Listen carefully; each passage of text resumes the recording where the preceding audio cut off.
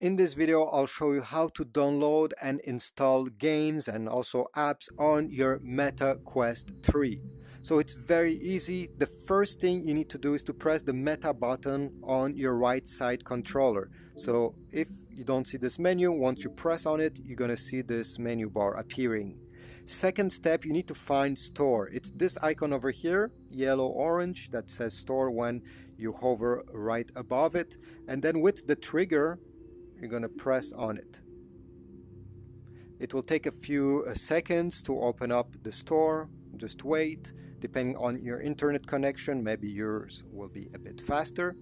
And over here, you'll be able to select and browse every single game that is available on your Meta Quest 3. So go ahead, browse. You can browse uh, vertically and horizontally. Uh, you also have some sections on the top if you want, let's say, sports game in particular. It will show you all the sports game. And if you want a specific app or game that you don't see, just press on search over here.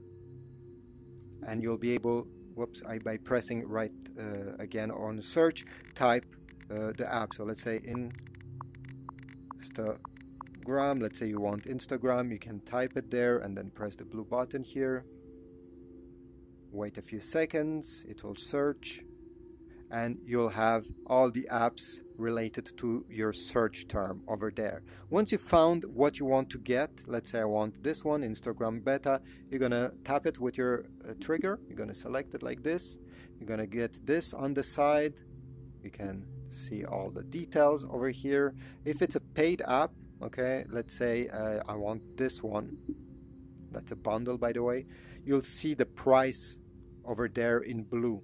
But in this example, I want to get something free, so I'll go ahead and select this, select install, and the install will uh, will start automatically. You can leave the store. You don't have to stay here while it's downloading. You can do other stuff. You can even play games while other apps are downloading. And once uh, it's done, all you have to do is to go. You see this place over here, the last option it's a bunch of squares. Tap on it. This is your app library. This is where everything that you download goes.